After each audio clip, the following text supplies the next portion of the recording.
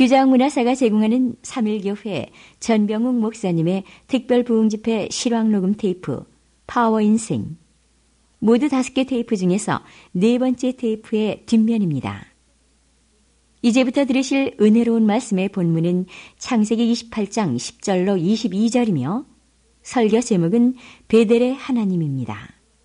크고 놀라운 은혜 받으시기 바랍니다. 창세기 28장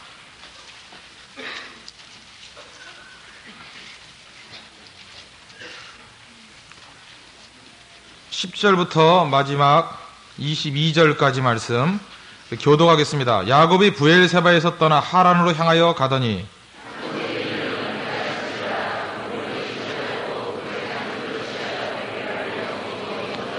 꿈에 본즉 사닥다리가 땅 위에 섰는데 그 꼭대기가 하늘에 닿았고 또 본즉 하나님의 사자가 그 위에서 오르락 내리락 하고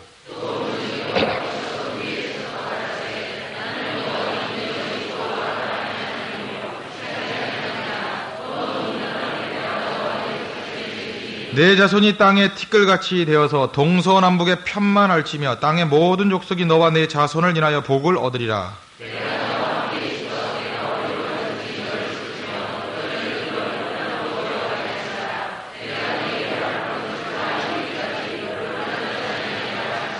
야곱이 잠이 깨어 가로되 여호와께서 과연 여기 계시거늘 내가 알지 못하였도다.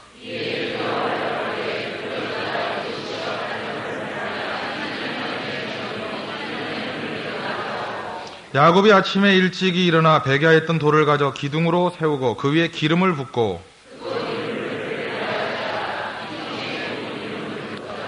야곱이 서원하여 가로되 하나님이 나와 함께 계시사 내가 가는 이 길에서 나를 지키시고 먹을 양식과 입을 옷을 주사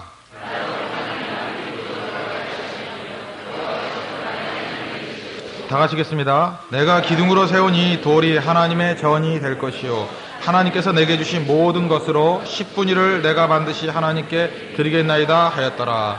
아멘. 옆에 계신 분들에게 자기가 지을 수 있는 가장 아름다운 미소를 띠면서 당신 때문에 살맛이 납니다. 인사 나누시기 바랍니다.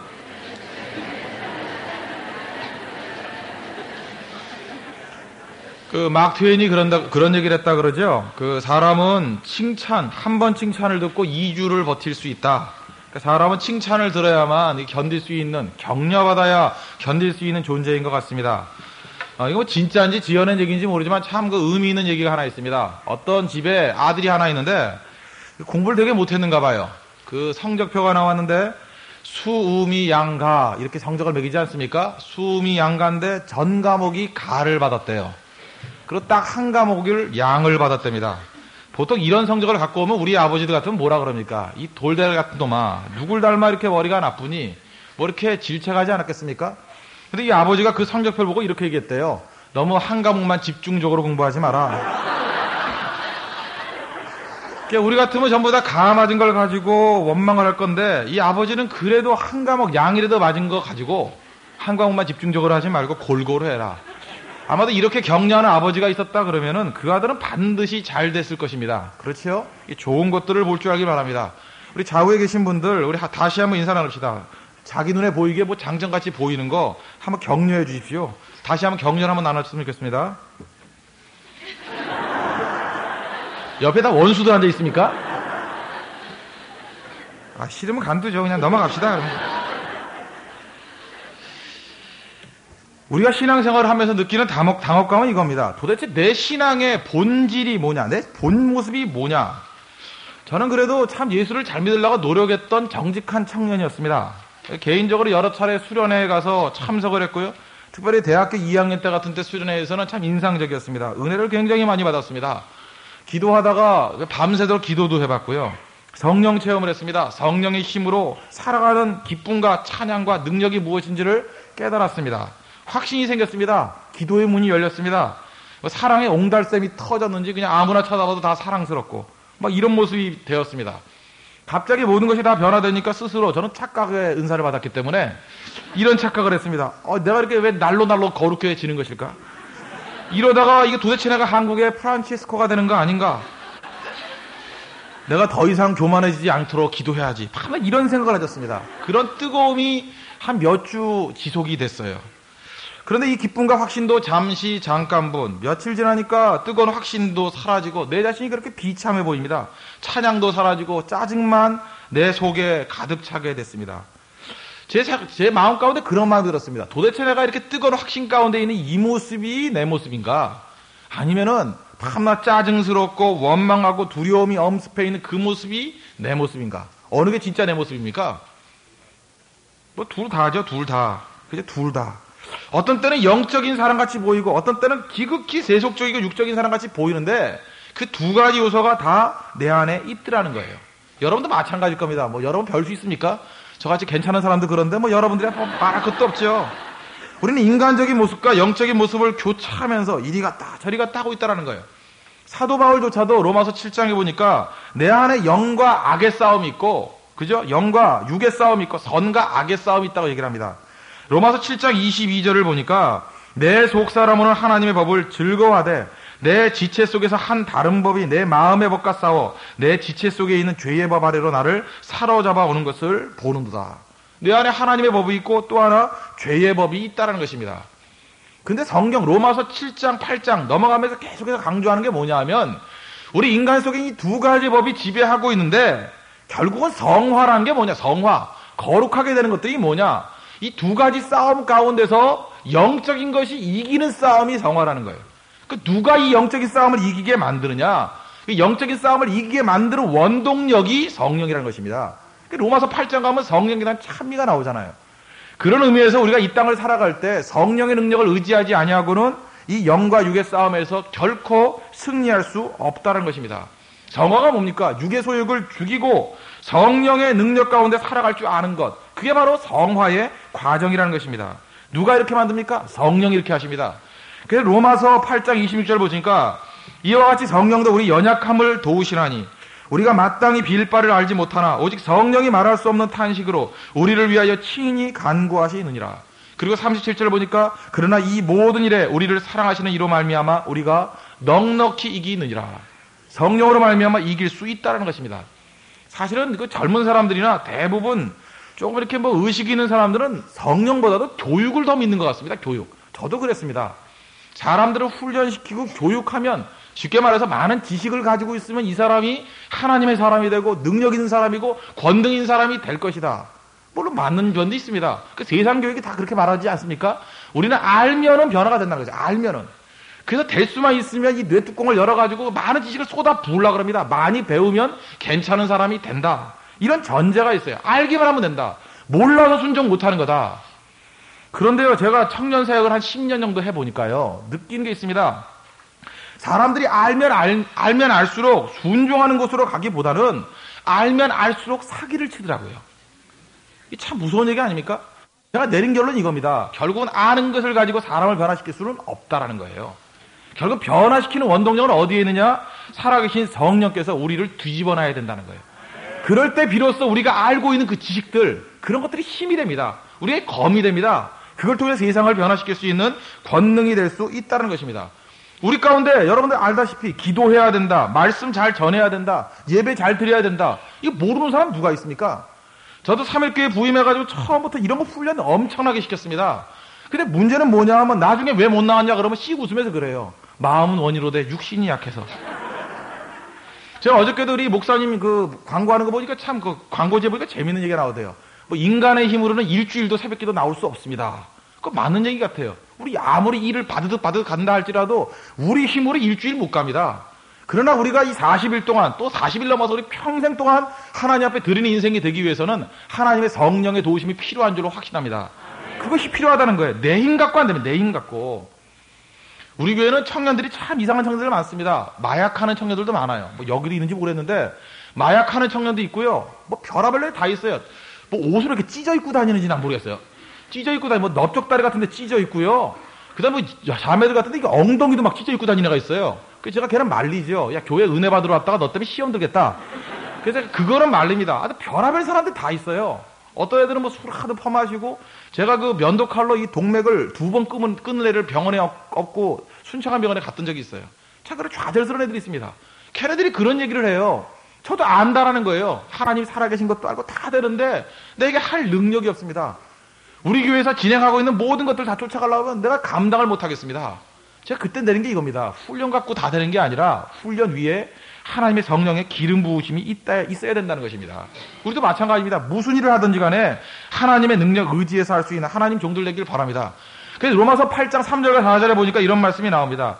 율법이 육신으로 말미암아 연약하여 할 수 없는 그것을 누가 해요? 하나님은 하시나니. 우리가 할 수 없는 것을 하나님은 하게 만드십니다. 계속해서 4절 보니까 육신을 좇지 않고 그 영을 좇아 행하는 우리에게 율법의 요구를 이루어지게 하려 하심이니라. 하나님의 성령을 의지하여 쫓아가면은 결국 우리가 이제까지 배웠던 모든 훈련들 의지 갖고는 할 수 없었는데 하나님의 성령의 능력 가지고는 할 수 있게 만들더라는 것입니다. 제가 어젠가 그 뭐죠 미디벌 타임스인가 거기 갔었습니다. 그 말 타고 뛰는 거 있었죠. 그 말을 보니까 참 말이 재밌대요. 그 재밌어 보여서 그걸 보니까 제가 이런 생각이 나더라고요. 우리나라에서 옛날에 그 경마 부정 뭐 이런 게 있었죠. 경마를 할 때 1등짜리를 알려주는 거. 근데 경마 부정을 어떻게 하느냐? 신문에 한번 났습니다. 그 조련사가 경마 부정을 할 때 쓰는 방법이 있습니다. 흰말과 검은 말이 있습니다. 근데 이 조련사는 기가 막히게 누가 이길지를 알아요. 그래서 나중에 물어봤어요. 어떻게 아느냐? 그랬더니 답은 간단하대요. 일주일 내내 흰말에게 먹이를 많이 주면은 흰말이 이기고 검은 말에게 먹이를 많이 주면 검은 말이 이긴대요. 그 당연한 얘기 아닙니까? 이 사기치는 사람한테 제가 영감을 얻었어요. 이야, 여기 기가 막힌 영감이다. 우리 안에도 두 마리 말이 달리고 있습니다. 하나는 흰 말과 또 하나는 검은 말. 하나는 영적인 말과 하나는 육적인 말. 둘이 계속 달리고 있어요. 누가 이깁니까? 누가? 우리가 먹여주는 대로 이겨요. 먹여주는 대로. 여러분과 같이 밤낮에 아침 새벽에 나와서 기도하고요. 말씀 보고 또 예배 드리고 또 저녁마다 나와서 하나님 앞에 부르짖고 그러면 흰말을 잘 먹여주면은 권능인 백성으로 영적인 백성으로 거듭날 수 있다는 것입니다. 밤날 어디 가가지고 밤날 뭐 음란 소설이나 비디오 뭐 이런 거나 보고 있고 뭐 음란 패설이나 외치고 그 다음에 술집이나 가서 자기 인생을 다 떼어버리고 그러면 검은 말이 점점점 강해지는 거죠. 하나님 앞에서 우리 영적인 삶이 겁니다. 두 가지 말이 있습니다. 문제는 누구에게 달려있습니까? 뭘 먹이느냐. 무엇을 먹이느냐에 따라서 우리 인생이 완전히 달라질 수 있다는 것입니다. 저는 우리 교회 청년들 하나도 믿지 않습니다. 걔네들이 저한테 와가지고 목사님 저 평생 주님께 바치길 원해요. 그거 안 믿습니다. 한두 번 속은 게 아니에요. 우리 여집사님들 와가지고 내가 주를 위해서 내 몸을 다 드리겠습니다. 절대 안 믿습니다. 저는 그 말을 믿지 아니하고 여러분의 시간을 어디에 드립니까? 그 시간을 드리겠다고 나올 때 저는 그걸 믿습니다. 여러분들 하루 종일 하나님 앞에서 일을 악문다고 승리하는 거 아닙니다. 그러나 새벽에 나와서 그 시간을 주님께 드리면 흰말을 먹이면 오늘 하루도 승리하는 하루가 될 줄로 확실합니다. 이게 바로 성령의 삶이라는 거예요. 우리가 투자하는 것만큼 우리가 쏟아 붓는 것만큼 우리의 육체의 능력들이 강해질 수 있다는 것입니다.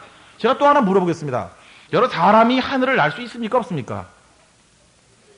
뭐 있다고 말할 수도 있고 없다고 말할 수도 있죠. 그죠? 정신 나간 사람이 뭐 날개라고 이렇게 손짓 계속 해봤자 못 날죠. 그러나 비행기를 타면 날 수 있습니다. 우리 교회도 그 항공학과를 다니는 애들이 많은데 뭐 여러 가지 그 힘들이 있더라고요. 네 가지 힘이 있는데 간단하게 얘기하면 비행기가 날 때 작용하는 힘이 두 가지가 있습니다. 하나는 땅에서 잡아당기는 중력이 있고요. 또 하나는 위로 올라가려는 양력이 있습니다. 비행기가 왜 나는 거죠? 중력이라는 힘이 없어지기 때문에 나는 겁니까? 아니에요. 이 세상 어딜 가든지 지구 안엔 중력이 항상 작용을 합니다. 근데 비행기가 나는 이유가 뭐냐? 중력보다 더 강한 또 다른 힘, 양력이 있기 때문에 나는 겁니다. 양력이 있기 때문에. 그 양력이 사라지면 추락하는 거죠. 우리 인생도 마찬가지입니다. 놔두면 다 추락하게 돼 있습니다. 악한 죄의 법이 작용하기 때문에. 그러나 하나님의 성령께서 작용하는 그 영적인 양력이 작용하면 뜰 수 있습니다. 뜰 수 있다고요. 그래서 성경은 또다시 뭐라고 얘기하면 다시 한번 강조하건데 율법이 육신으로 말미암아 연약하여 할 수 없는 그것을 누가 해요? 하나님을 하신다고요. 하나님이. 하나님의 성령의 능력이 우리 가운데 역사하기 시작하면 그때부터 하나님의 뜻대로 살아가는 인생이 될 수 있다는 것입니다. 그래서 신앙생활이란 건 뭐냐? 뭐 간단합니다. 성령 안에서의 삶입니다. 성령께서 부어주시는 능력을 가지고 살아갈 수 있다는 거예요. 여러분 시편 119편에 보니까 그런 말씀 나오죠. 청년이 무엇으로 그 행실을 깨끗게 하리요. 주의 말씀을 따라 삼갈지어다. 청년들 마찬가지입니다. 지금부터 무슨 뭐, 뭐, 프라미스 키퍼요? 뭐, 이래가지고 서약서 쓰고, 뭐, 그런다고 자기가 뭐, 정결함을 지킬 수 있어요? 뭐, 그것도 있을 수 있겠죠. 뭐, 없다 그러면, LA에서 없다 그러면 또 욕먹으니까? 뭐, 있을 수도 있겠죠. 그러나 아무리 일을 간다 할지도 안 돼요. 왜요? 성령이 우리를 지켜주고, 우리를 주관하지 않으면, 그거 안 된다라는 거예요.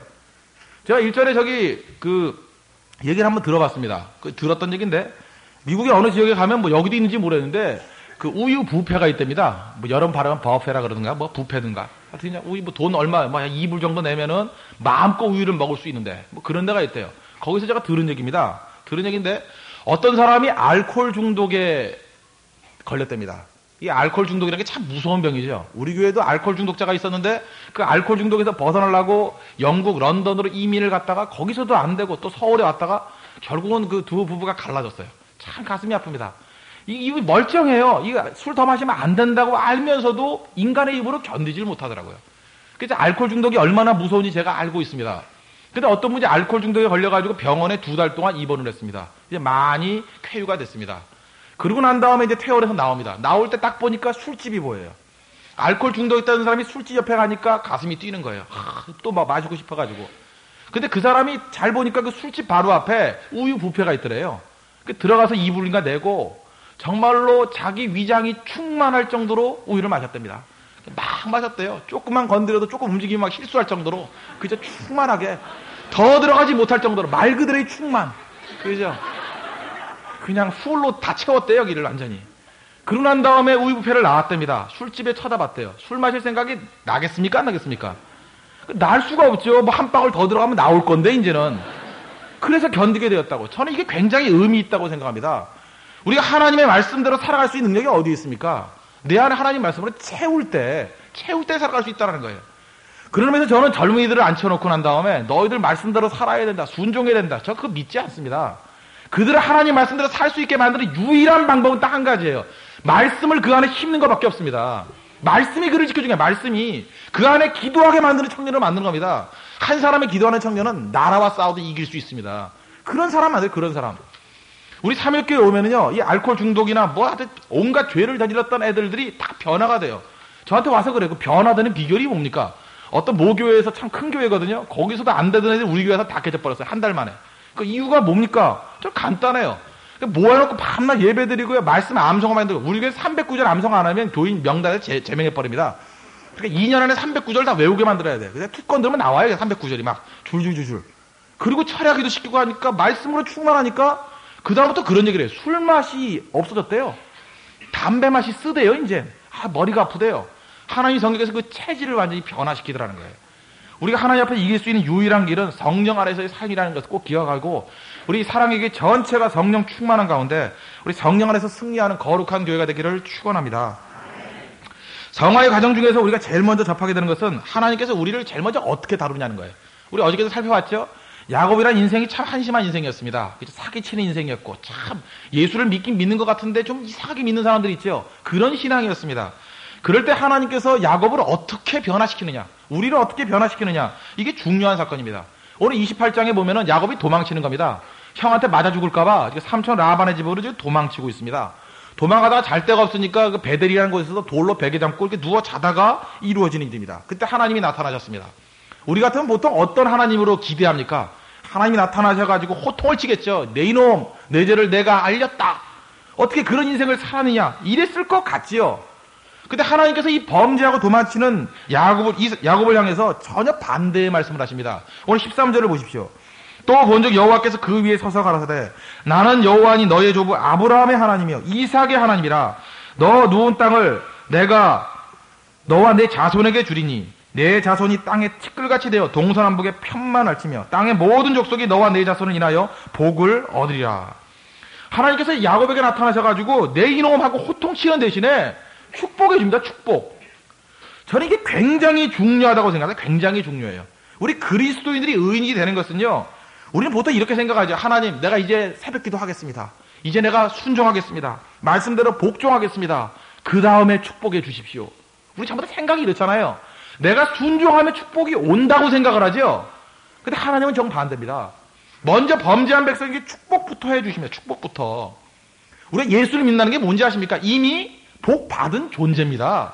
이미 축복 받았어요. 저도 마찬가지입니다. 제가 목사가 되고 난 다음에 목사다운 모습이 되어가지고 목사가 된 게 아니더라고요. 하나님이 저 허물 투성이한 사람을 그냥 목사로 세워주시더라고요.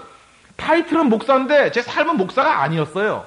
축복하고 난 다음에 하나님께서 목사답도록 변화시키는 작업들을 하시더라는 거예요. 마지막에 축복에 걸맞는 존재로 변화가 되는 겁니다. 이게 성화의 과정이라는 거예요. 대표적인 구절이 에베소서 1장 3절에 보면 이런 말씀이 나옵니다. 찬송하리로다 하나님 우리 주 예수 그리스도의 아버지께서 그리스도 안에서 하늘에 속한 모든 신령한 복으로 우리에게 복 주시되 그랬어요. 예수 믿고 난 다음에 우리에게 이미 복 주셨다라는 거예요. 과거형입니다. 그저 이미 주셨다는 거예요. 복을 주실 것이다. 이런 미래형이 아니라 과거 완료로 되어 있습니다. 예수 믿고 난 다음에 이미 우리에게는 하나님의 성령으로 말미암아 축복이 임하게 되었다.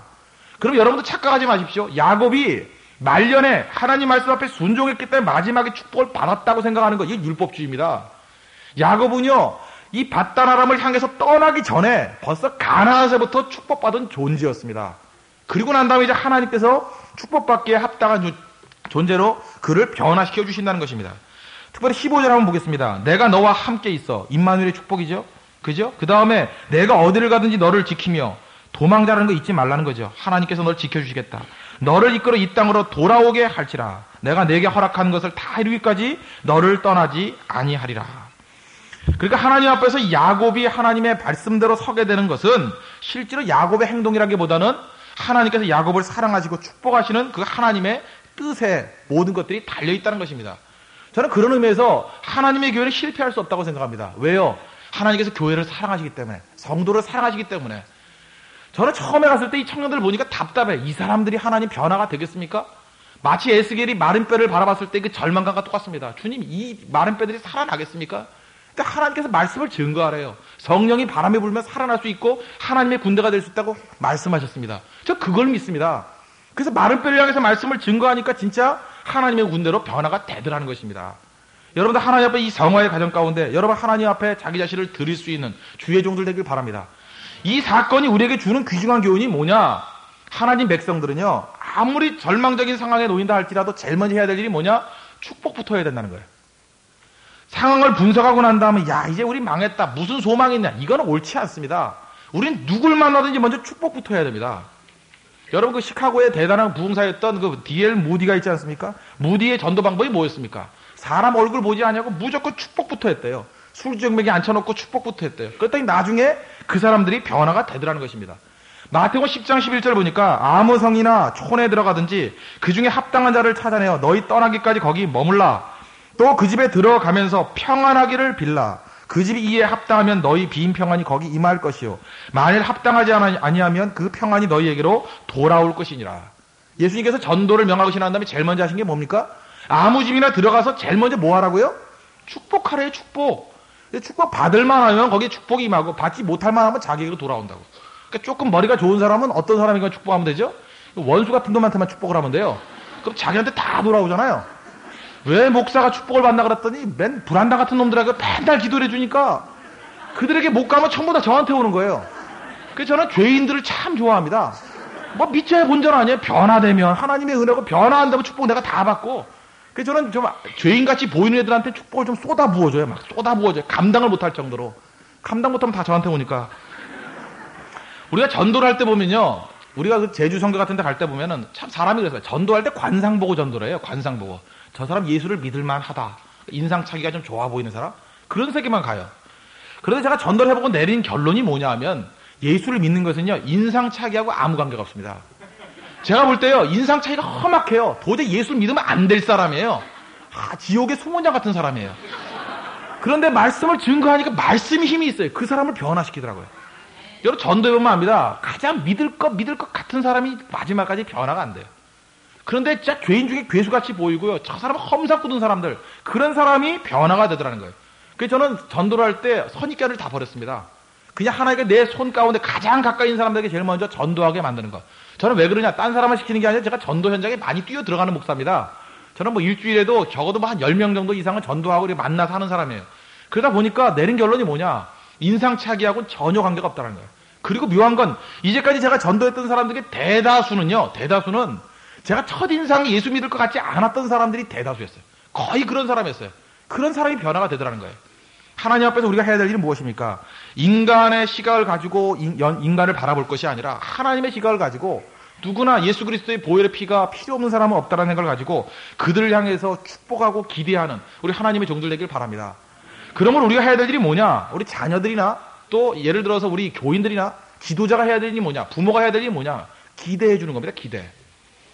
제가 우리 교인들 숫자가 많으니까 뭐 하나같이 쫓아다니면서 뭐 감나라 대추나라 미주알 고주알 말할 수 없잖아요.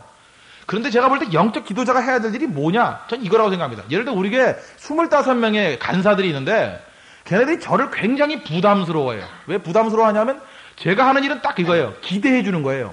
어떤 사람을 놓고 야, 너 참 훌륭한 의사가 될 거야. 네가 분명히 이 비투성인 의료계를 변화시킬 거야.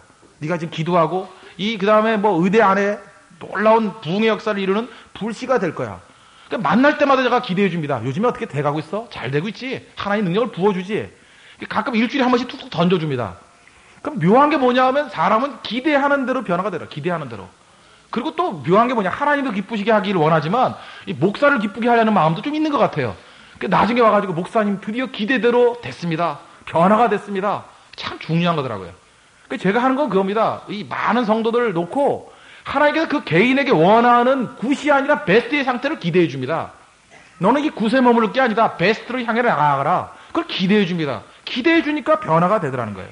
실제로 예수님께서 부활해 주님께서 베드로를 만나고 난 다음에 했던 일이 뭡니까? 기대해 준 거지, 기대. 그죠? 게세만의 동산에서도 실수했습니다. 예수님 부인했습니다. 저주했습니다. 또 우리 같으면 똑같이 생각하죠. 예수님께 나타나서 호통을 하면서 네가 수지야 맞아 임마? 뭐 개집종 앞에서 나를 부인하고 저주까지 했어? 그랬을 것 같지요. 근데 예수님 그 말이 없습니다. 얼마나 베드로가 고마웠겠어요. 그죠? 그래서 우리는 어떤 사람이 그 질책 받을 것을 기대할 때 질책 안 합니다. 저는 오히려 기대해 줘요. 내가 나를 이 사람보다 모든, 모든 것보다 나를 더 사랑하느냐? 예, 사랑합니다. 그럴 때 내 양을 먹이라, 내 양을 치라. 무슨 얘기입니까? 예수님이 여전히 믿고 있고 기대해 준다. 그것을 보여주는 거 아니겠습니까? 그러므로 교회가 능력 있는 비결이 바로 여기에 있습니다. 우리는 기대하는 존재입니다. 바라보는 존재입니다. 말씀 안에서 그 사람 말씀의 렌즈를 가지고 어떤 사람의 미래를 바라보는 존재. 그래서 변화될 수 있다는 것입니다. 그래서 제가 보니까 그 부흥 못하는 교회들의 특징들이 뭐냐. 목사님들이 사람의 그 베스트를 바라보는 게 아니라 꼭 안 되는 것 같고 시비 걸더라고요. 너는 망할 놈이야. 이래서 안 되고 이래서 안 되고. 안 될 이유가 너무 많아요. 그래서 안 됩니다. 믿음대로 되기 때문에.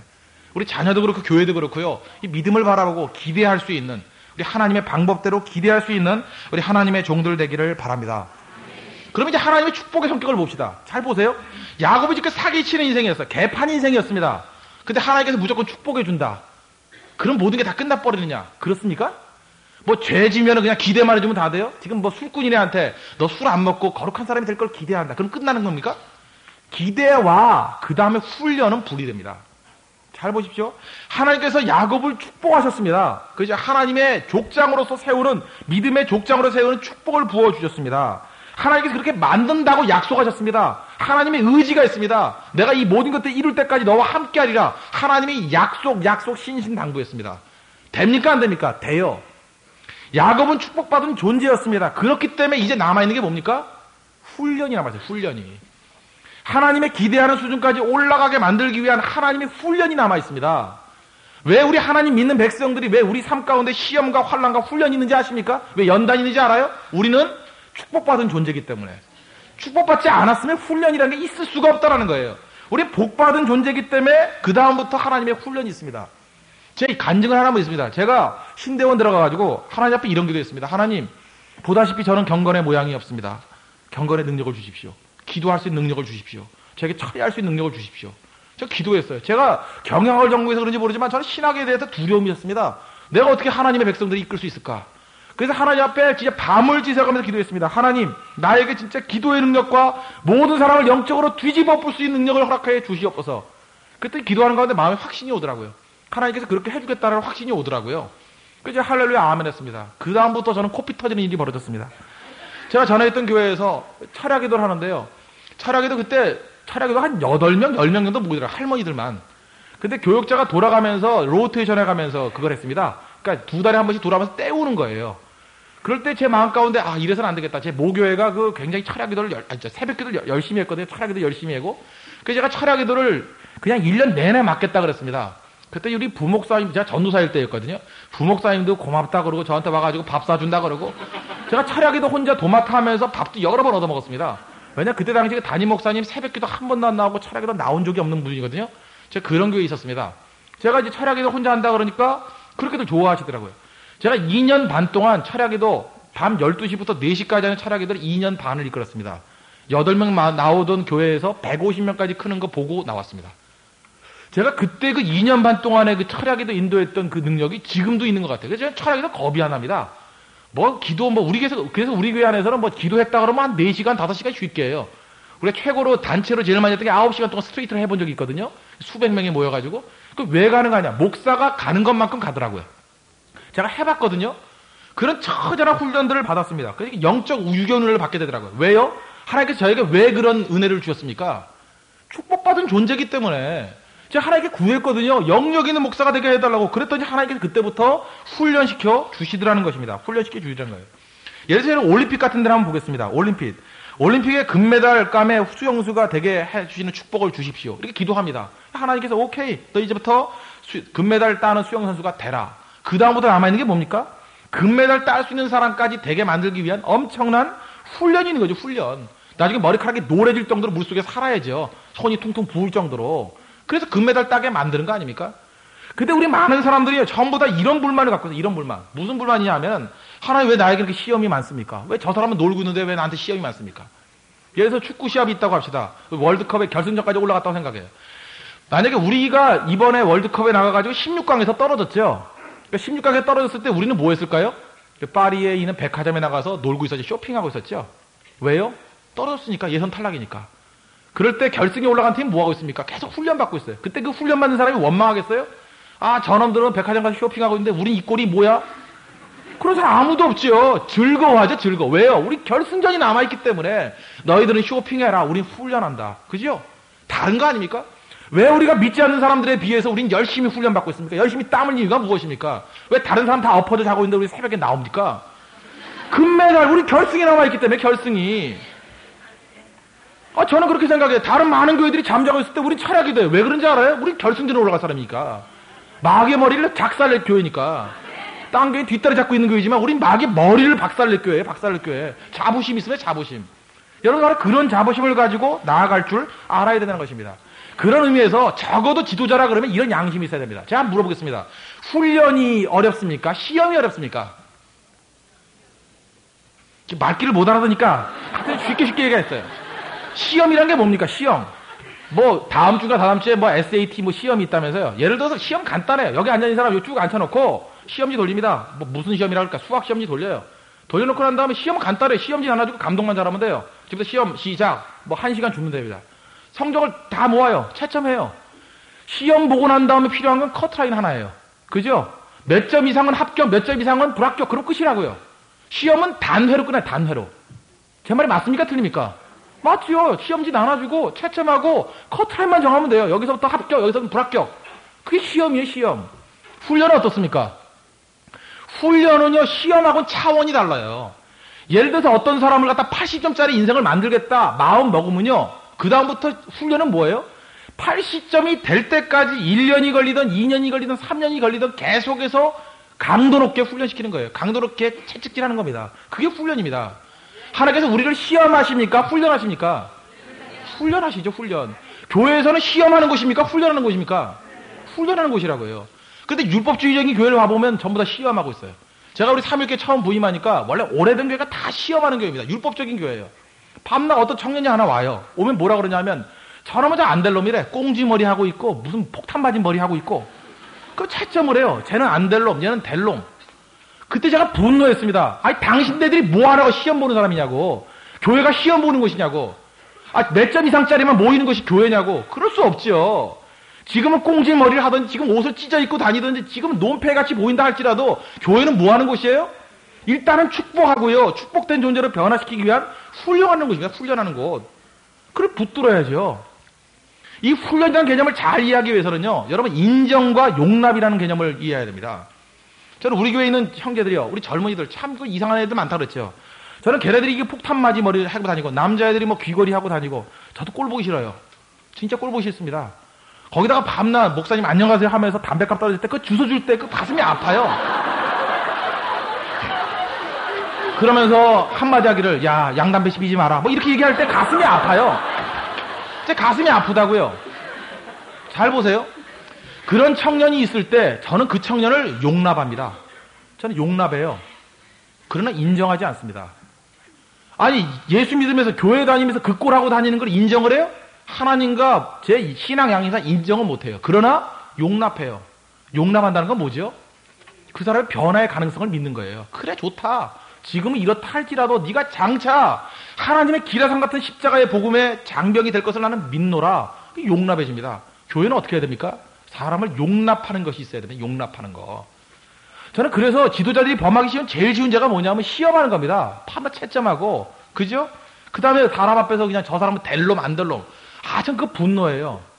아, 사람이 될 사람, 안 될 사람이 어디 있습니까? 될 사람을 만드는 게 우리의 사역이죠. 그렇지 않습니까?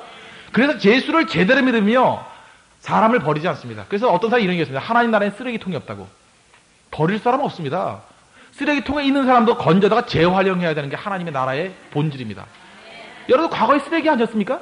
내가 보니까 얼굴도 보니까 다 쓰레기였던 사람이 많은 것 같은데 저도 마찬가지였습니다. 쓰레기통에서 하나님께 저를 건져가지고 목사로 삼았어요. 목사로. 그죠? 그때는 제가 하나님 앞에 인정받지 못하는 목사였습니다. 뭐 지금도 마찬가지지만 그러나 주님은 나를 용납해 주셨습니다. 저는 그 용납해 주다는 그 사실이 너무나도 감격스럽습니다. 아, 하나님 나 같은 죄인을 허물 많은 죄인을 주님께서 용납하시고 품으시고 나를 인정하시고 기대하셨다. 그러니까 이제부터 뭡니까? 내가 주님의 기대에 부응하는 충성스러운 목사 되겠습니다. 진실된 목사 되겠습니다. 자수령 가운데 있는 나를 건지셔가지고 하나님의 종을 만드셨는데 내가 이 은혜를 받았는데 내가 어찌 참을 수 있겠습니까? 하나님께 모든 것을 영광 돌립니다. 바로 그 모습이 있다는 거예요. 이게 바로 하나님의 은혜 안에서 살아가는 백성들의 모습입니다. 그래서 하나님 은혜를 제대로 받으면요. 율법주의자보다 몇 배를 더 뜨게 돼 있어요. 몇 배를. 정말입니다. 우리 교회 은혜 받은 백성들이요. 율법으로 뭐 얼마 나오라 그런 거 없습니다. 예를 들어보세요. 우리가 11시부터 4시까지 철야 기도를 하는데요. 끝나고 난 다음에 2시간 넘게 더 기도하는 사람이 있어요. 만약에 5시간 기도해야 돼 그러면 땡 치면 다 갚아버릴 거예요. 근데 하나님의 은혜 안에 놓여 있으니까 그 기도하고 난 다음에도 더 중보할 사람이 있어가지고 부르짖고 있습니다. 저는 은혜를 믿습니다. 은혜를. 하나님의 은혜가 이렇게 위대한 것입니다. 여러분들 하나님 앞에서 그러한 은혜를 믿고 하나님께서 왜 나에게 시험과 시련과 연단을 주시느냐? 훈련하기 때문에 그렇습니다. 하나님 여러분 사랑하시면 믿습니까? 사랑하기 때문에 여러분들을 훈련하시고 지금도 변화시켜 주신다는 것입니다.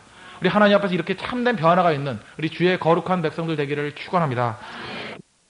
지금까지 창세기 28장 10절로 22절 말씀을 가지고 삼일교회 전병욱 목사님이 베델의 하나님이라는 제목으로 설교한 말씀을 들으셨습니다. 다섯 번째 테이프 앞면에는 창세기 29장 1절로 20절 말씀을 본문으로 20년간의 훈련이라는 제목의 말씀이 이어지겠습니다. 계속해서 많은 은혜 받으시기 바랍니다.